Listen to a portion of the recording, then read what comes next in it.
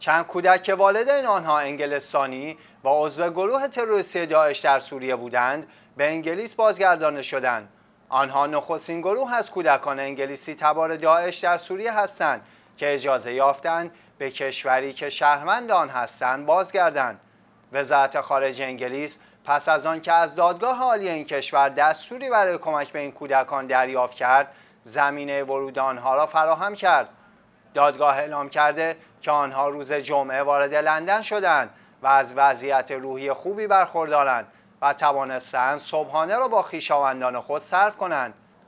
این کودکان پس از آن اجازه بازگشت به انگلیس را یافتند که اقوام و اعضای خانواده نزدیک آنها برای دریافت اجازه بازگشت آنها از دادگاه عالی انگلیس درخواست کردند که دادگاه این کودکان را زیر نظر و حمایت خود قرار دهد.